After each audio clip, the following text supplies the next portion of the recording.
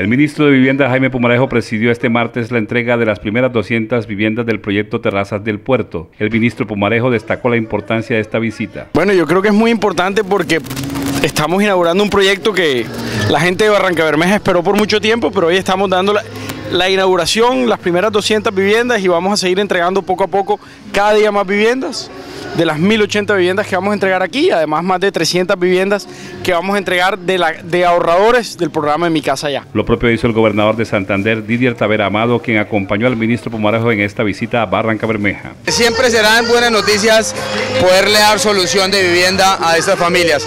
Hoy esta es una entrega que vienen esperando las familias barranqueñas, cerca de 200 que se van a entregar hoy y lo que nos ha dicho el ministro es que en enero deben estar las mil completamente entregadas. Los beneficiarios de este proyecto de vivienda debieron esperar al ministro y su comitiva por más de cinco horas debido al retraso en los vuelos por la protesta de los pilotos de Avianca en Colombia.